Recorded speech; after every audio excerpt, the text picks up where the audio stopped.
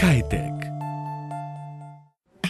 Μπορεί να μοιάζει με επιστημονική φαντασία, αλλά είναι το μέλλον των παιχνιδιών. Ένας Κύπριος φοιτητής στο Ελβετικό Ομοσπονδιακό Ινστιτούτο Τεχνολογίας της Ρήχη, ο Κωνσταντίνος Μιλκιάδης, έχει φτιάξει αυτό που θεωρείται το πιο εξελιγμένο ψηφιακό avatar στον κόσμο.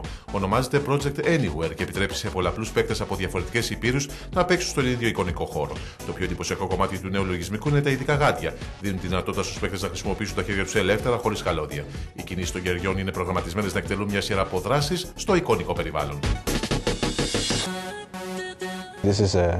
Αυτό είναι ένα ελαστικό υλικό από πολυγαλακτικό οξύ που μπορείς να τυπώσεις τρεις διάστατα στον εκτυπωτή στο σπίτι σου.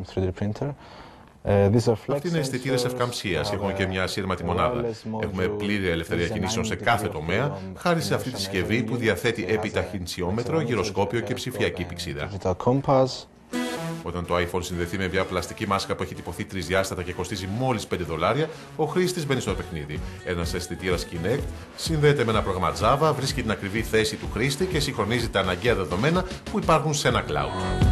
Ο ίδιος ο χρήστης με το σώμα του ελέγχει το ψηφιακό του avatar. Δεν υπάρχει άλλη εφαρμογή που να μπορεί να χρησιμοποιεί το σώμα σας σε ένα ψηφιακό περιβάλλον. Μπορείτε να ελέγχετε ένα avatar μέσα από το joystick. Το σώμα σας όμως σε αυτή την περίπτωση δεν παίζει κανένα ρόλο.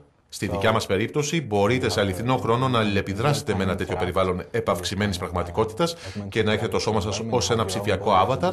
Άρα, μιλάμε για μια εντελώς διαφορετική καινοτομία εφευρέτης του λογισμικού, δουλεύει αυτή την περίοδο την ιδέα ενός εικονικού μουσείου μέσα στο Μουσείο Επιστημονικής Φαντασίας που αναμένεται να ανοίξει στην Ουάσιγκτον φέτος.